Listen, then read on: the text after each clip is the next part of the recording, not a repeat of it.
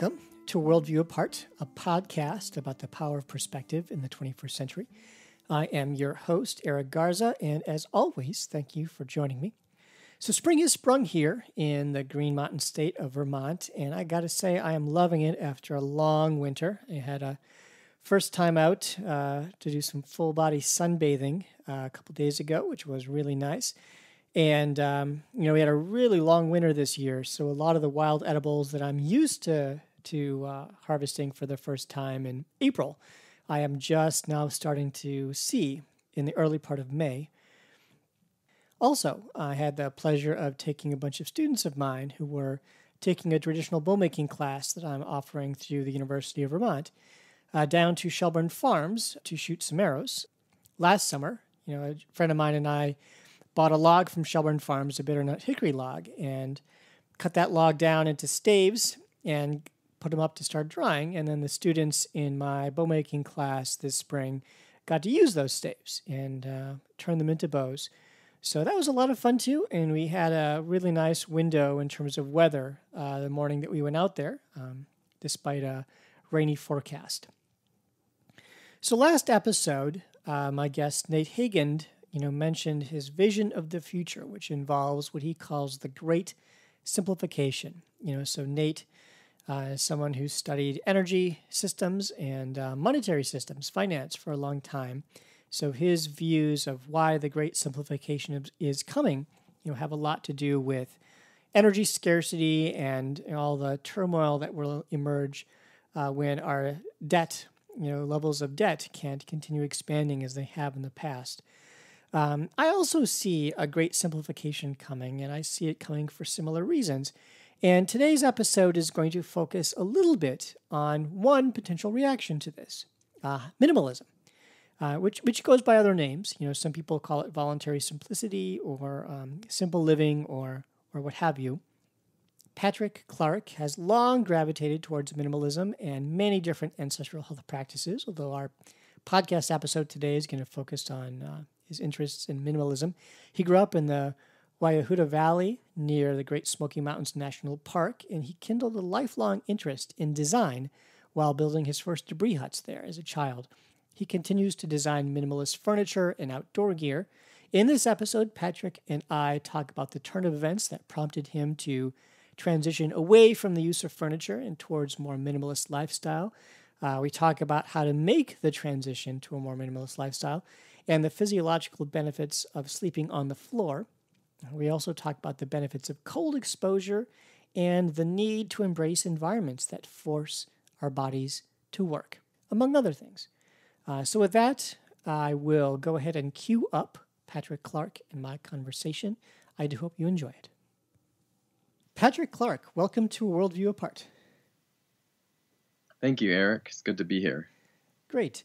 So, you know, I've read a, a bunch of the materials that you have uh, written about online, and you've got years and years and years worth of uh, articles that you uh, host on your website. And one of them in particular I thought would be a fun place to start. So, you have an article called Deconstructing Sedentary How to Outsmart Sitting. And in that article, you talk a little bit about your early transition uh, to avoiding furniture. You know, of course, you know, we both live in the United States. I live in Vermont, and you live in uh, North Carolina. And, you know, most people in this country love furniture, you know, for the comfort that it offers and the style and all that kind of stuff. And I wonder if we could kind of start our conversation um, by having you talk a little bit about what drew you to avoid um, furniture and and some of the ways that that has impacted your life. Sure. Yeah, I'd love to talk about that. Um, I uh, I was in high school, and I uh, it, it, it's kind of a long story, and I'll I'll try to be you know keep it keep it concise, but it's important how I got there because it's kind of unusual. I was in high school. I was in ninth grade, and I I was watching um, a documentary in in my history class, and and it and it showed um, uh, Native Americans living in teepees, and the U.S. cavalry was, you know, trying to capture them and bring them cap- bring them to the reservation and things. And and um and I had this like um kind of an awakening where I I saw I all of a sudden I felt like I was like on the Indian side and and I and, and it hit me it hit me that that I was in this that something was really wrong. I was in this culture that that that was supposed to be looking at things a certain way, looking at from the outside into the Native American culture, and and yet I felt like I would rather be on the inside of that culture. And when that hit me, uh, it it completely like blew my life into shreds, and I started questioning everything. I wanted to to get rid of everything and like go back to that time. It just looked that was that was the kind of life that had that would have meaning, and and I was um I was uh I didn't realize I was just like in a state of like you know this this wasn't working for me. That's what's real, and this this is like crazy what the way we're living. And so it sent me on a journey. I started questioning everything like where did this come from? Like why why do we do this? Why do we live in houses, not teepees? Why do we why do we uh, drive cars when we can walk? You know, it's more fun to walk. And and so that sent me on this long exploration journey that, that became my life. And um, and uh, one of the first things that well probably the first thing I did was I I learned how to make moccasins and I and I don't know why, you know, why that first, but I knew I knew I had to like change everything about my life and about how I think and about how I how I how I am as a human being on the planet. So I I the first thing I did, I knew I had to change my life and and and find a way to connect to that quality that I saw the Native Americans had in that video documentary. So I wore moccasins. I uh, made them, wore them to school. So I was like feeling the earth, and and then I was also um, getting rid of things. I, I wanted to. Um, uh, I got rid of everything in my bedroom as far as furniture, and it became. It it was it was my there was no word for it at the time, but it, what it was was it was the practice of what we call minimalism. And so I was getting rid of everything, getting, um, and so in getting and getting rid of the furniture, then I was on the floor, and a friend of mine had a uh, futon shop, and he showed me how to make a futon. So then I had a futon to sleep on, and all of this stuff was was just changing, uh, changing me in in way in a lot of ways. And then um, so that led to you know with no furniture like um, there was uh, there was uh, a new there was moving. And and and but then I'd have to go to school and sit and then and then you know then I'd be free to move when I was back in my own space. And eventually like decades later, you know, I went through high school, college, and then and then I was found myself working in a in a um, company, a cottage industry, making um, meditation cushions, and and the, and then and then that brought up this thing about sitting. Like, why why are we sitting on a meditation cushion anyway? Like, what does that mean? Like, why don't? Uh, and for one thing, why do we sit on a chair? or a meditation cushion. Why, if we sit on a meditation cushion when we meditate, why don't we sit on a meditation cushion when we're doing other things too? And so I had that question and I explored that. It took me like about a decade to to get some uh, headway on what that was about and and and what it was. It opened up the, the entire history of of kind of like civilization.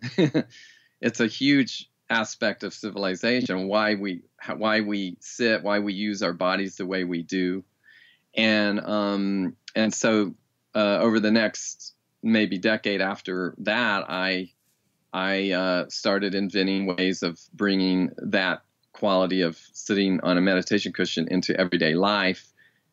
That that's how i got into it. And that and that that that is what you i now call um, you know i i had to invent things to make that happen because there wasn't even anything in existence that that you could do that you, you could live like that there was a few there was like maybe a chair, maybe two that were they were called like kneeling chairs or active sitting chairs.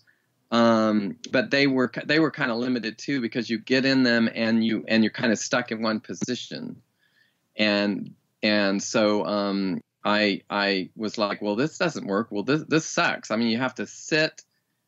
I mean, I, I felt terrible sitting there. I just I don't know. I just started feeling like crap and I had no words for it. And like I, and it was kind of like in the beginning of the internet, there was it was really hard to find any information about anything. Um, but uh, but it but event and then eventually a little later than that, like maybe it took me two or three years after that, and then I was like, well, I don't like sitting in this kneeling chair. I don't really like sitting all the time, even on the floor. Why don't I stand up? Like, why can't I stand up. I'm just I'm just using the computer. Why can't people stand up and use the computer? And and so I got some crates and boxes and I put my great big laptop. It wasn't even. It was before laptops.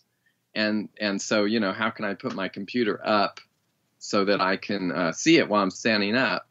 So I did that, and then it was like crazy. It looked crazy. It was like extremely bizarre no one had ever heard. There wasn't even a word for stand-up desk, and uh, and no one you know had heard of it. And and so uh, you know I was promoting standing up. Eventually, I developed a stand-up a pro- product for a stand-up desk and and products for sitting in meditation posture for doing computer work and and and some other products that I that I now call the barefoot office kits.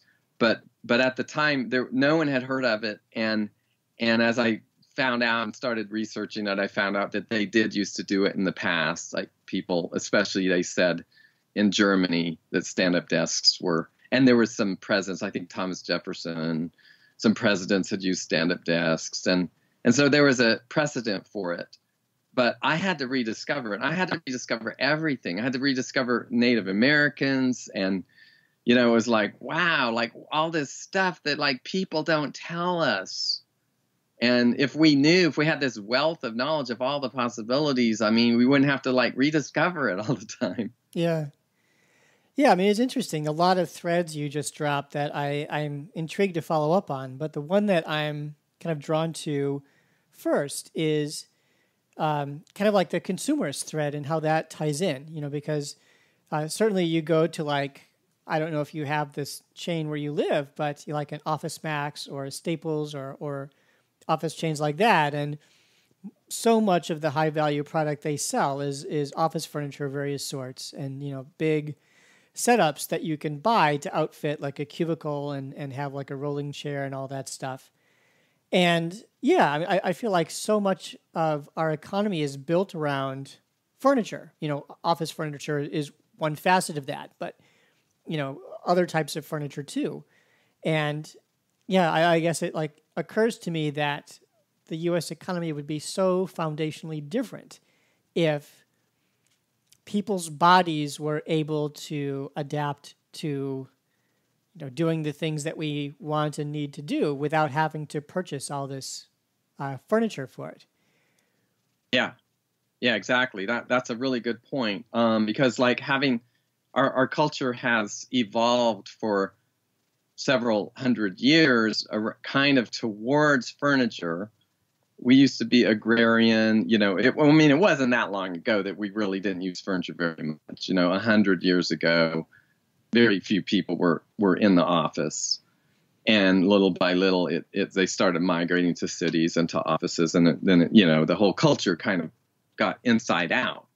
So um but uh, yeah, um, the when when we're when you grow up not using that furniture, it re, it shapes your body a certain way, and and not just your body, but you know your your brain and your uh, your metabolism and um, your circadian rhythms, your sleep.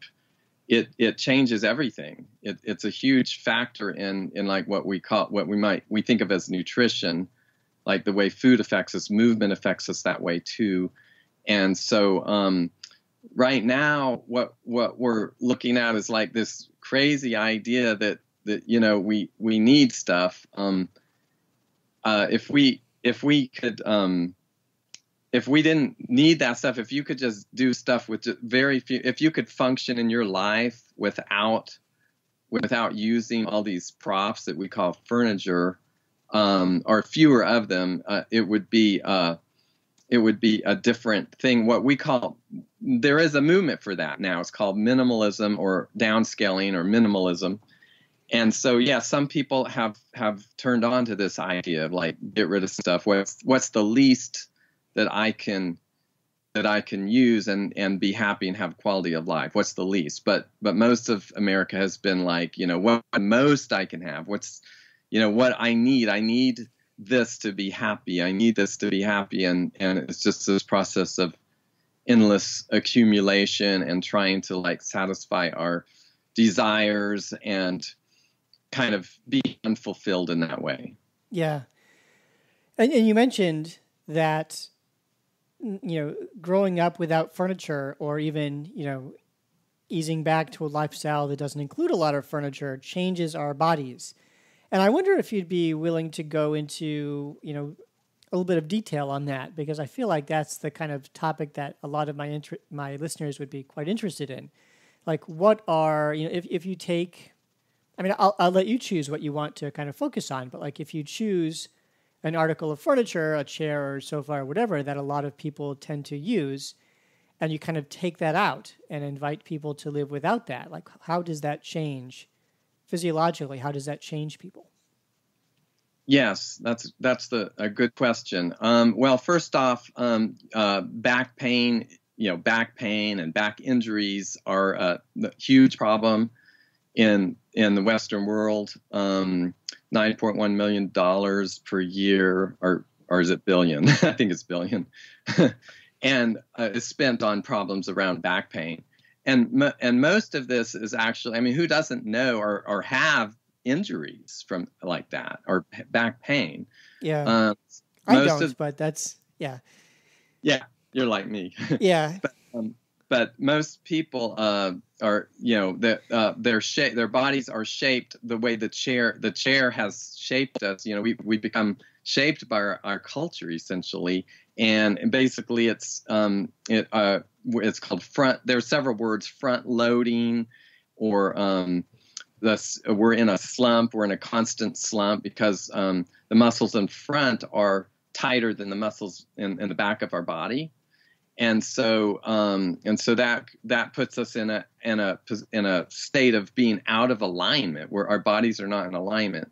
And you can see that, like if you look at at pictures of native peoples, like you know, and old pictures or even some videos of Native Americans, and how how incredibly elegant they they were, and and how they moved with grace, and their and and we know the word, you know, the phrase um, as straight as an Indian, and and so you know, as slumped over as a white man, you know, like so uh, yeah, so um, that that's how it shaped us, and and um, and so when we are looking at that, well, what can we do about it? I mean, we're we're malleable. The human body is malleable and it can change, and so and so we need to re-educate our body about how to how to um, get back into our natural state of alignment.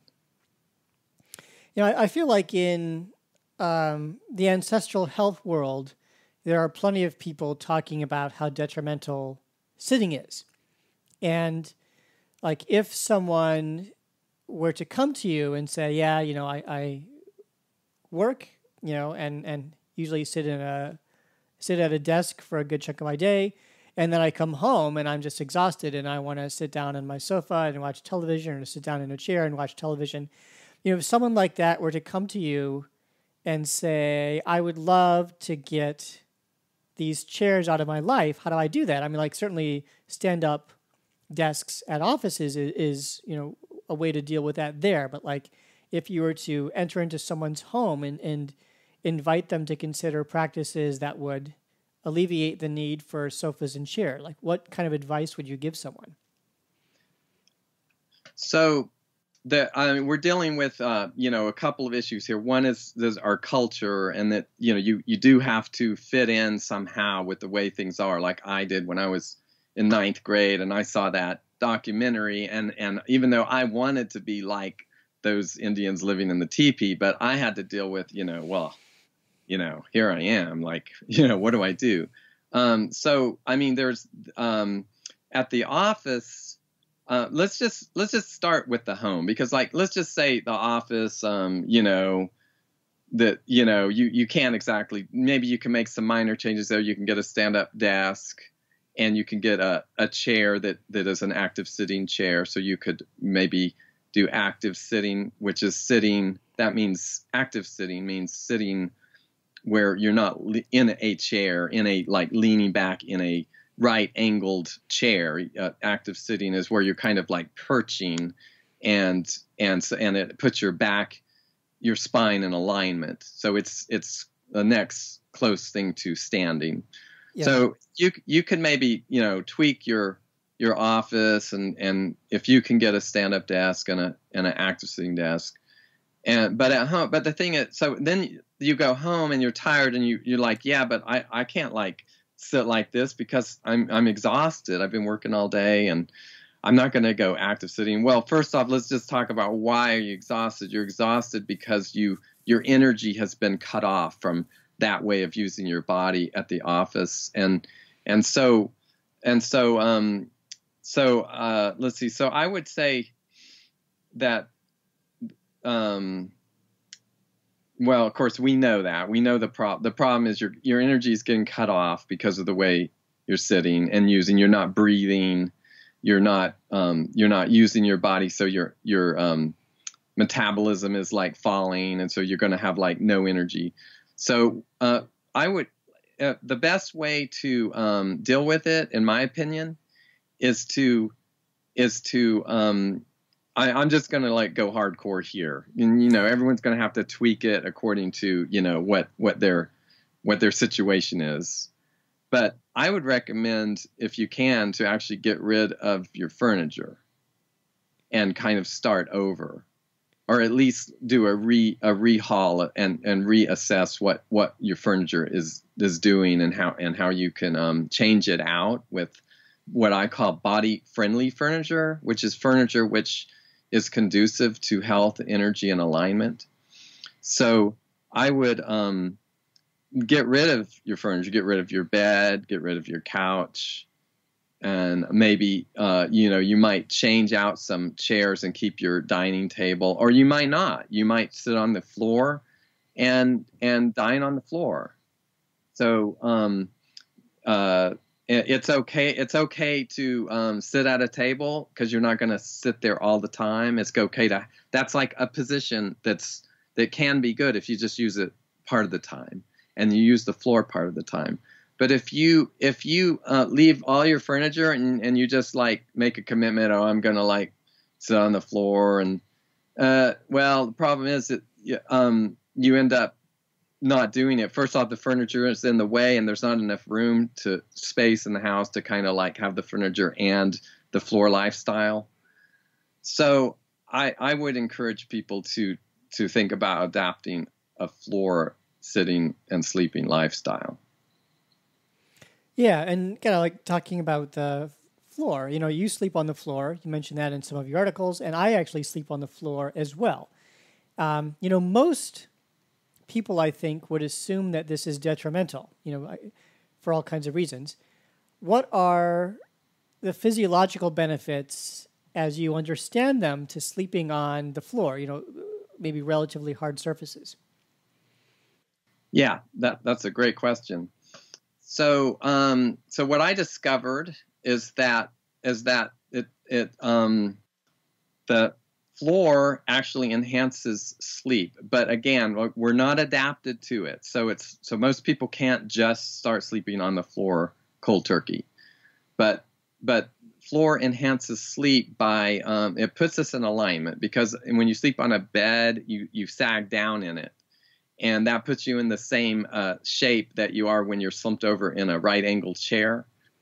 And so um, so it so sleeping on the floor puts us in alignment and that can feel uncomfortable because because our bodies aren't shaped that way at the time. So, and the, the other thing sleeping on the floor does is that it it increases the breathing, uh, the lung capacity, and the oxygen intake because your your chest, your upper body, your your breathing apparatus is now opened up as if you were doing yoga. And so you're going to be breathing deeper.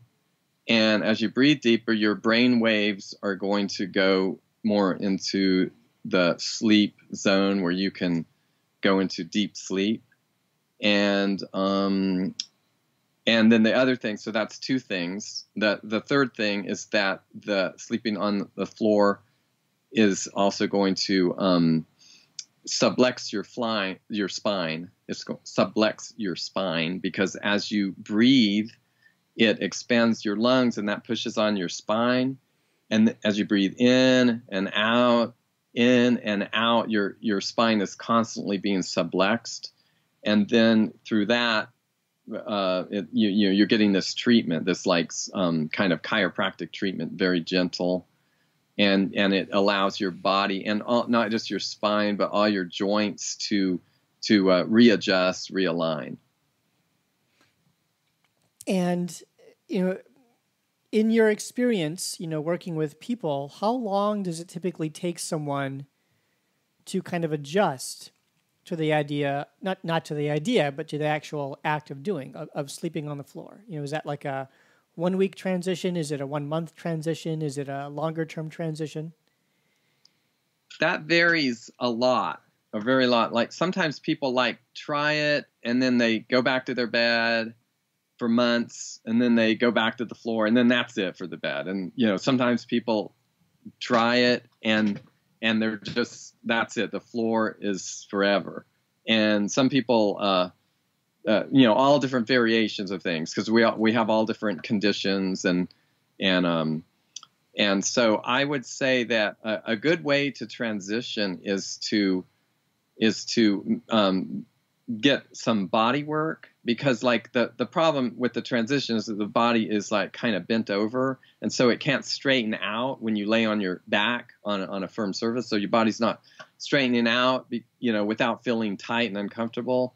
And that's what's the problem with sleep. So it, it really doesn't take much um, body work to to start to loosen that up, and it's going it's going to be a process of um, body work, sleep on the floor, and don't sit in a chair, stand, and do all the the various um, positions that that I teach people.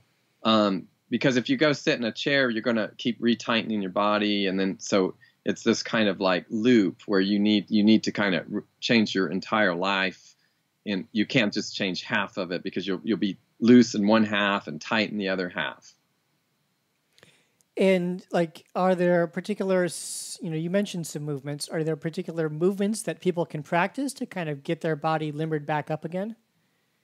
Yes. Yes there are. Um, that uh, it's uh, just you know kind of any basic y- yoga very simple yoga um, cl- uh, routine. They're they're they're they're all very balanced and um, gentle and they and they they work with you incrementally. Um, so so yoga has a lot a, a, lot to offer there and and other other movement disciplines are, are good too. Um, uh, so yeah i would I would do uh, yoga stretching, and but the thing is, you can't just stretch and go back into into your um, poor use problems, and that's that's the that's the the, the thing that that I that I'm adding here is like that we don't just go and do yoga and then just like ignore the rest of our life. We integrate that that whole idea and the whole body awareness in into the into our lives. Yeah. Yeah. And also I would say um uh, just like an in, inversions, inversions, inverting inversion machines and uh, uh, slings that you can decompress your spine are good. Um, and also, uh, uh, let's see. Yeah, I think that's good. Okay. Um, so you know, uh, you you and I are talking about sleeping on the floor, and so some, I, I imagine some of my listeners are imagining the two of us like literally lying down on a hardwood floor, or you know, it's my bedroom happens to have a hard floor, hardwood floor. I don't know what yours is. Yeah, um, yeah. That.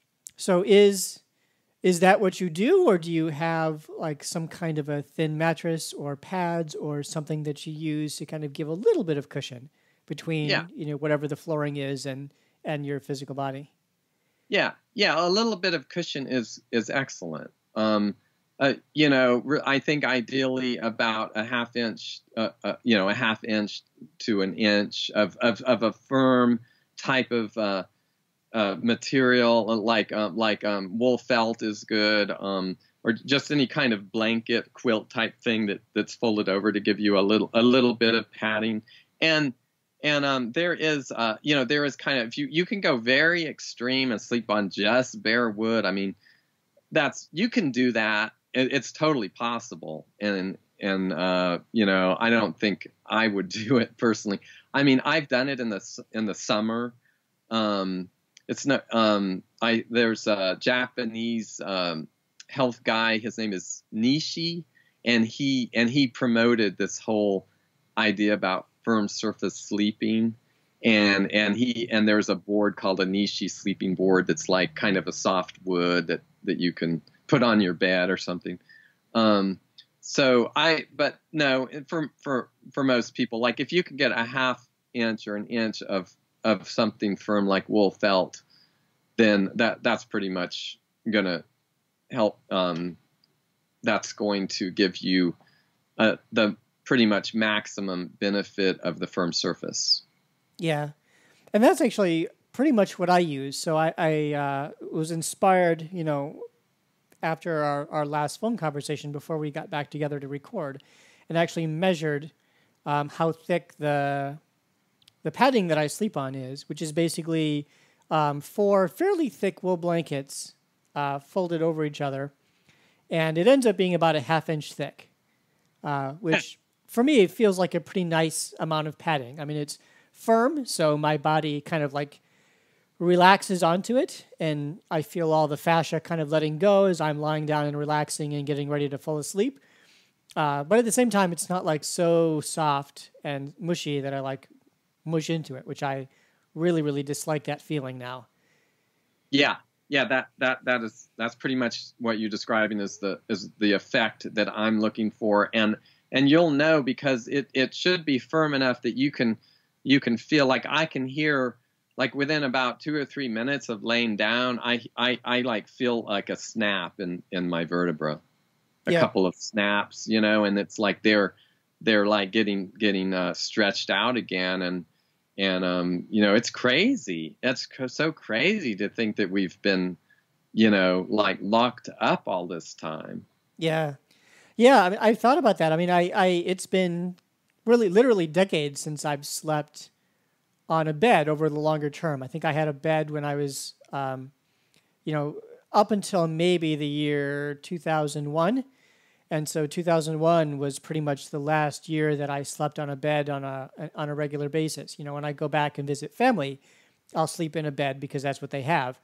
Um, but other than that, I've I've done various floor sleeping arrangements, and I've been.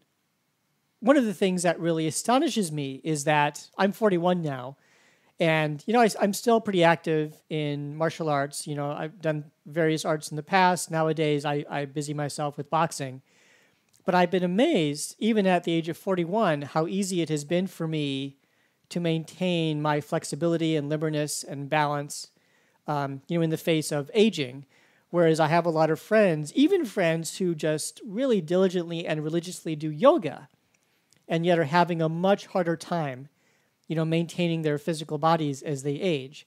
And I, I, um, I, I liken a lot of the, the benefits of that to the fact that I just avoid sleeping on those soft surfaces and kind of give myself, my body a good reason to like really relax all the different muscles and, and kind of re, re you know, find its alignment every evening, you know, whereas a lot of other people, you know, their lifestyles are arranged in such a way that they just don't have that. Yeah, yeah, it's huge. If you think about it, I mean, you know, first off, your you know alignment is huge, and then um, and and then uh, you know sleeping, like breathing, oxygenating your blood, and and sleeping well is huge. I mean, it'll it'll make a a huge difference.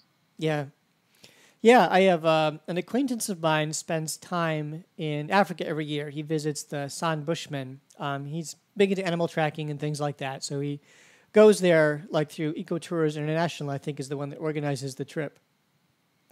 And, um, you know, spends time with them and learns to animal track and, and interpret bird language and things like that. And one of the things he's always come back and talked about is how, you know, a lot of these San Bushmen will make a fire in the evening and they'll just go and sit by the fire and talk by the fire. And then as the, as the night goes on, you know, they'll put a few more logs on the fire and then they'll just lie down on the bare ground next to this fire and fall asleep. And then you know they wake up the next morning you know having basically slept on hard ground. And and yeah i mean they have uh, you know fairly healthy people you know considering that they live in a very marginal area of the kalahari desert. But but yeah i mean that was one of the things when i learned about that years and years and years ago that inspired me to investigate you know how they did this because obviously that is what people have been doing for much much longer than we've been sleeping on beds. And our bodies are apparently evolved for that because certainly they they would have. You know the the, the beds are something that people's bodies are evolving to now you know slowly or or you know maybe you know poorly but yeah. That that is um that i call that um you know that's what if we could rewild our ourselves and be and be able to do that be able to exist outside of all these things that we we have to surround ourselves by this bubble of of civilization that insulates us from nature and the elements and our bodies. And and then um so it, it's liberating to be able to to do that because you just you just realize my god i like i'm free. I mean i i can like go anywhere, do anything, anytime. I'm like, you know, I don't, I'm not dependent on lugging around, you know, civilization everywhere I go. All these buildings with climate control, these insulated, um, you know, it has to be 70 degrees if it, if it can be too cold or too hot. Our bodies can't adapt to to the temperatures. Uh, we can't adapt to like surfaces. Like we're just like dead. So um, so yeah, that is that is a that's a really it's good to see examples of people native peoples doing that and uh, and give us some inspiration. Yeah. And you and you say like we're dead, but I don't know if I would characterize it quite that way. I mean, to me it just feels like people have become just extraordinarily fragile. You know, they they just require all these accoutrements in order for them to um, you know, do anything remotely close to thriving. And it just seems to me like it's so much easier to build a good life for myself if part of the effort that I'm expending is to to kind of make it so that my body still has like a high level of adaptability. So I don't need, you know, a bed. Like I um, helped a friend, a couple friends move earlier this year, and uh, you know, moving a couple, a man and a woman, from one house to another just a couple blocks away was a huge ordeal because, I mean, they, even though there's just two people, I mean, they literally filled this gigantic moving truck. And of course, you know, I'm physically strong, which which is useful because both of them have severe back problems and they couldn't lift a lot of the heavy things that they owned. But um, but yeah, just like huge pieces of furniture and huge beds and you can take them apart to some degree, but it's it's still an ordeal, you know, and, and big heavy mattresses. Whereas, you know, it's been a couple years since I've had to move, but when I move, if I didn't own the chest freezer that I have to store meat in, you know, from hunting season, I could probably fit everything I owned in like a decent sized uh, hatchback sedan or like a wagon. And when I moved to Vermont from Indiana, everything that I owned was in a small sedan. You know, this was before I got my chest freezer. So like the benefits of not depending on furniture and a big fancy bed is that you know there's really not a lot of heavy stuff to move. You know, not that I'm against lifting heavy things. You know, I think there's a lot of value in being able to do that. But yeah, yeah, there's a there's also a, the you know huge psychological benefit of of not having that stuff. Um, you know, in feng shui, the science of feng shui, um, they they the goal is to have like just what you need and not not excess, and and that it frees up. Um, it just frees you up to be to have your mind focused on the things that you really need to be thinking about. Yeah. Yeah. And I uh, I I know, and I I feel um, you know I feel like people people often uh, apologize for, for all the stuff. Some they see me, and you know I, I often get like a funny reactions like guilt and you know like you know they feel guilty for how I don't I don't say anything you know nothing never I mean but you know it's up to you what you want to do but uh you know people just feel a little self conscious because you know, especially like you say, when you help someone move and they obviously see how you live and that, you know, it seems kind of like this contrast. yeah. Yeah. Like a very, very stark contrast. Yeah. Another, another thread that you kind of brought up that I wanted to go back to is the temperature thing. Um, I mean, that's another thing that I've I've gotten into mainly for the health benefits of it, but like cold exposures and heat exposures. So you know, going spending time in a sauna each week, a few times a week, um, and then uh, I, I have a membership at the YMCA among some of my other athletic you know endeavors, and they have a, a sauna there, so I, I can get access to that. And then, you know, I live up in, in northern Vermont, so it's cold a good chunk of the year, and the you know we're starting to see leaves on trees now, but Lake Champlain is still 38 degrees Fahrenheit, and a friend of mine and I went down and went for a swim, you know, just yesterday, and um, and I've been, you know, interested in cold exposure probably since about 2005 or 6, so more than 10 years at this point. And just the the degrees of freedom that I get from that kind of a practice has been unexpectedly huge. I mean, I've gotten to a point now where even living in northern Vermont, I have no use for a winter coat or gloves anymore which surprises a lot of people because living in northern Vermont, a lot of people, you know, have two or three different big heavy coats and you know various kinds of gloves and other things. But that's like another area where I feel like the human body is capable of just a huge range of comfort. But because of the way that people live, we allow a lot of that range to atrophy, you know, down to this very narrow, you kind of articulate it as like you know, 70 degree, you know, temperature range. And yeah. surely there are physiological impacts that go along with that, it seems to me. Yeah, yeah. And and that is amazing that you that you do that. That's that's very uh very good to to go that extreme and and uh, and I have yeah I have too explored that um, in the past several years and um, and it is it's extremely important because that's part part of the problem is that our bodies have become adapted to these these environments that don't require us they they don't have resistance. We our body has to do nothing. Yeah. when we sit we sit in a chair we do nothing. We we have uh, you know over insulated everything and and and the the air is always the same and we do nothing our body has to do nothing and then when you get, do get exposed to hot or cold then your body has no idea well what do i do? What do i do? You know and you feel and you feel miserable and uncomfortable.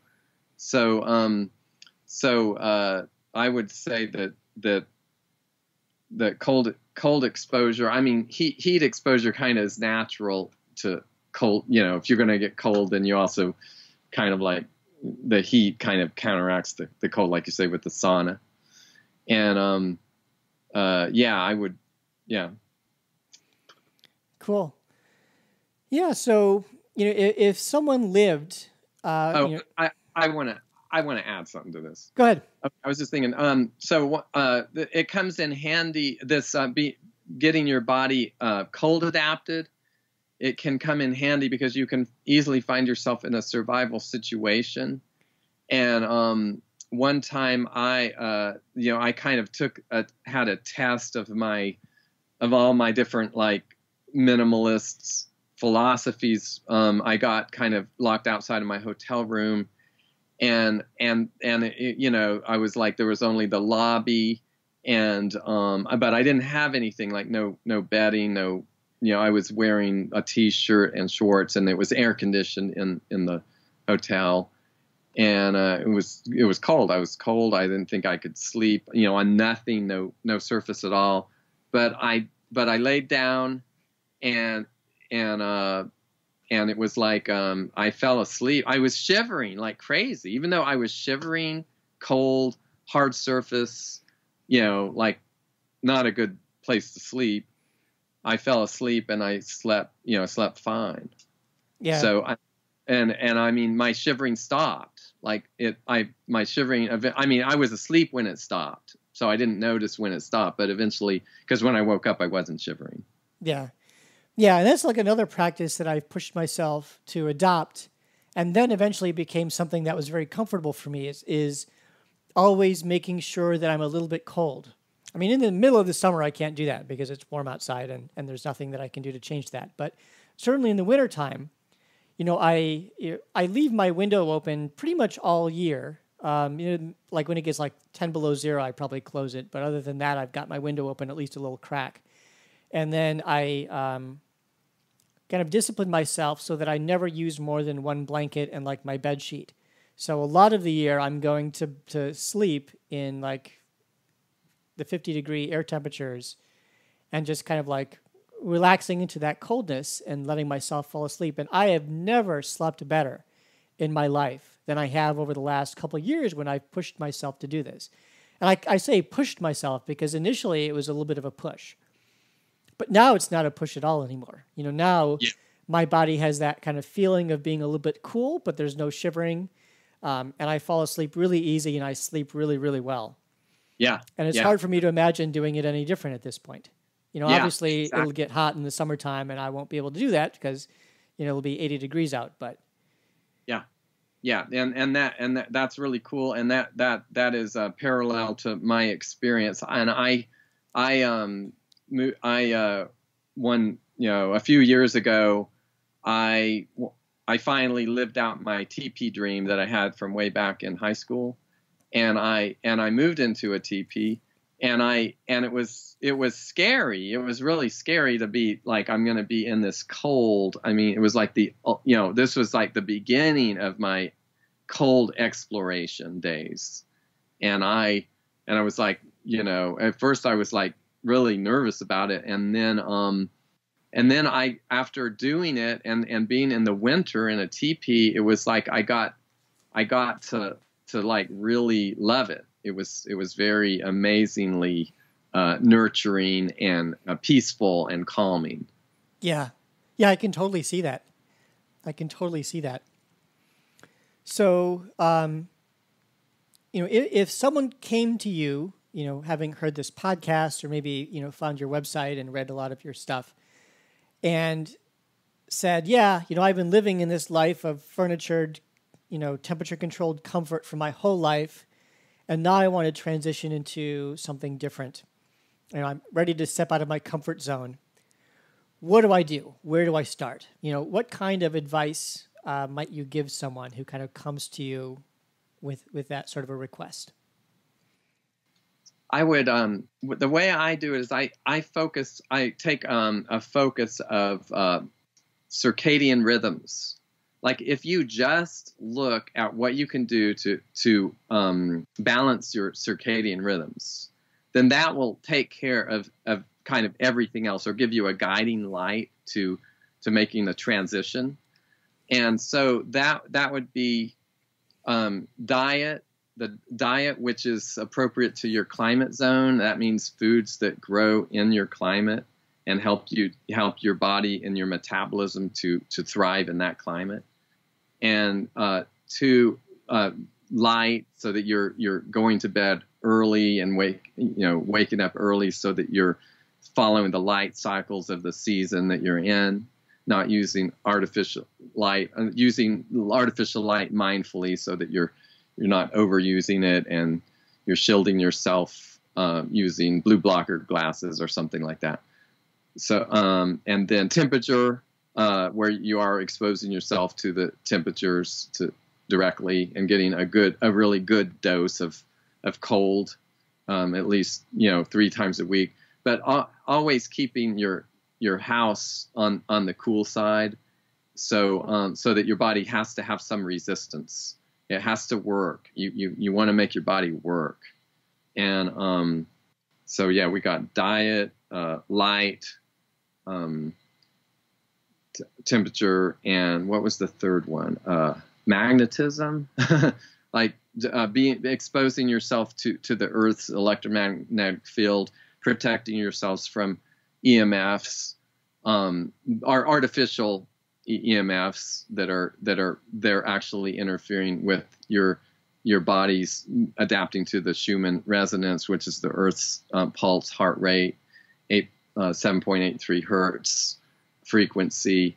Um, so you have to mitigate your electricity wiring and where you live. I mean, if you know, of course, if you can live in the ideal place, that's great. Uh, otherwise, you need to do some remediation of of all the um, pathogenic electromagnetic frequencies that are happening. So that there's four. Those are four um, four uh, dimensions that we need to pay attention to. Yep. And so the the kind of reduction of furniture would come after all of those. Oh, actually, um, uh, actually that that's a fifth dimension. Yeah, movement. So, um, so yeah, movement because um, because actually, if the way it fits in is because when when you move, it stimulates your metabolism. So, like moving is one way of generating heat for your body. Like like eating like certain foods like fats, uh, you know, the fats with uh, that burn into heat instead of carbohydrates, which don't create heat. Like movement also is one of the things that stimulates metabolism and heat. So getting getting rid of your furniture and your bed so that you're so you're building into your lifestyle movement. You you don't you don't just like like think oh I need to like do movement. You you're just you do movement. You just do it. It's just a part of your of your lifestyle. And that means that you get when you sleep or sit on the floor, you have to get down and you have to get up. So that movement stimulates metabolism and and uh, um, among all the other health benefits as well.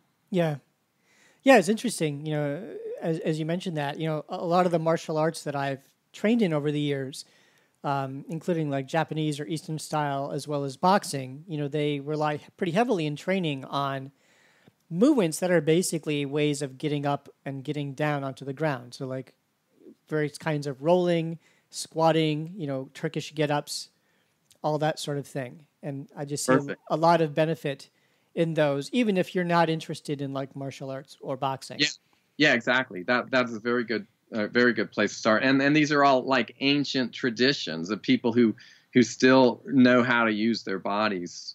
Yep. Yeah. Yeah. So, any final thoughts before we wrap this up?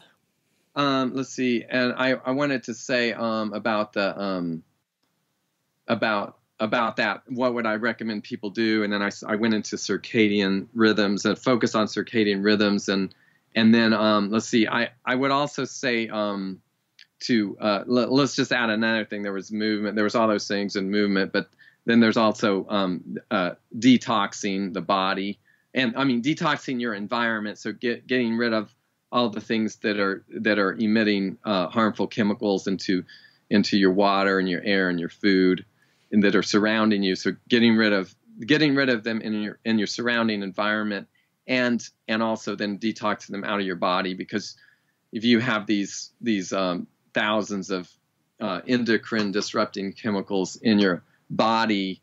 And and you can go and do all these other things and they're great but but you're still going to be uh, fighting an uphill battle. So we really need to be uh, thinking about detoxing. Okay cool. Yeah and all of those are like two hour episodes by themselves so. Yeah.